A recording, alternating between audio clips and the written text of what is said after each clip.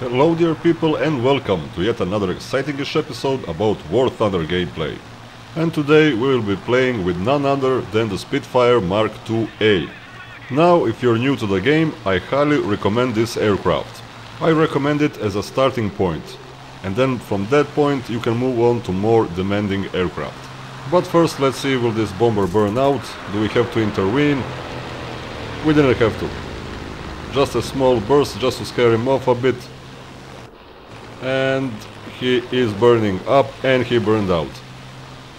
So it was a good call not to engage it any further. We would just steal a kill from our teammate and that is a no-no. Please don't do that. If you see an enemy plane burning after the engagement by your teammate, leave it alone. That's the best thing you can do. And focus on other targets. Because you have to act like a gentleman when flying one of the British planes. That command is written in the RAF manual supplied to all the pilots out in the fields. Hmm, probably. But let's get back to the game. We can see two enemy attackers below us, a Ju-87 and a Dornier 217. The Stuka is an easy prey for our Spitfire, but the Dornier came flying in with bullets spraying all over the place. Never engage that type of aircraft in a head-on. You can easily outmaneuver it later on as it is seen in this example. But that rear gunner of his is quite dangerous. So it is best not to stay too long on his tail. But I have stayed a bit too long. We scored a critical hit, got his right engine on fire, and we should have backed out. But we haven't.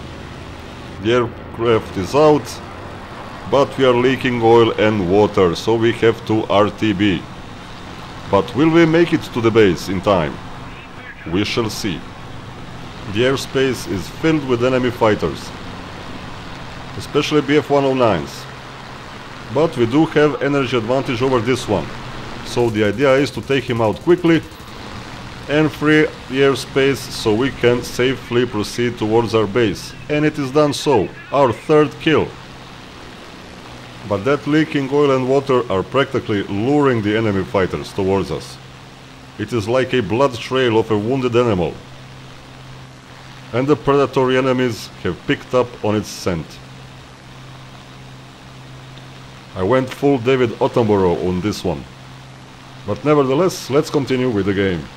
Have you noticed that little red dot that appeared on the radar on the minimap? Well, I was trying to pretend not to see it and hope that it will go away, but it hasn't. It came in fast and engaged us, and we have to engage in a turn fight. Our engine is, is in a poor state, but we should be able to outturn a Bf-109. We are a Spitfire, god damn it. We are losing flaps, but we are gaining momentum. We are scoring some critical hits, and we should be able to finish him off. You simply do not engage in a turn fight with a Spitfire in a Bf-109. It will cost you. And it will cost you dearly, it is just a matter of time. And the Bf-109's time is out. Our fourth kill. But our engine is not getting any better. We have to get to the base as soon as possible. The temperatures are extremely high of oil and water and we are leaking all over the place. But the enemies simply won't let us end this peacefully. And here comes another one. Now I accept a head-on because I thought I was going down anyhow.